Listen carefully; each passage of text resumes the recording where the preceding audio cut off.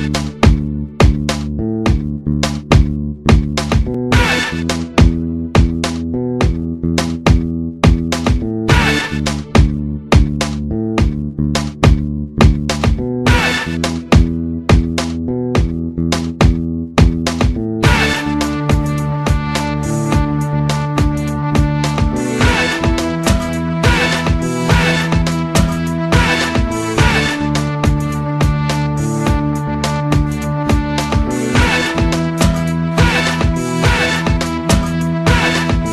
Now, Mark, this is what I want you to do.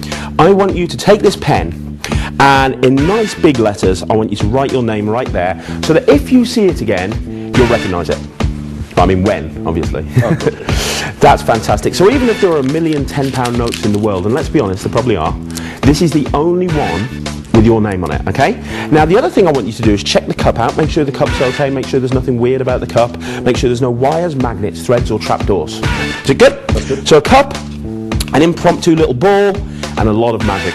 Watch the top, middle, and bottom. Cup your hands together for me. Cup your hands together. Cup, like you're about to catch something. There you go. Watch this. One, two, three. Did you see it go? Did you see it go? Back on the table. You should have been watching the cup, not the notes. If you were watching the cup, you see, you would have actually seen the lemon.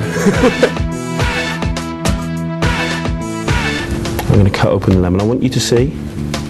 I'm not cheating at all. Here we go. Slow as I can.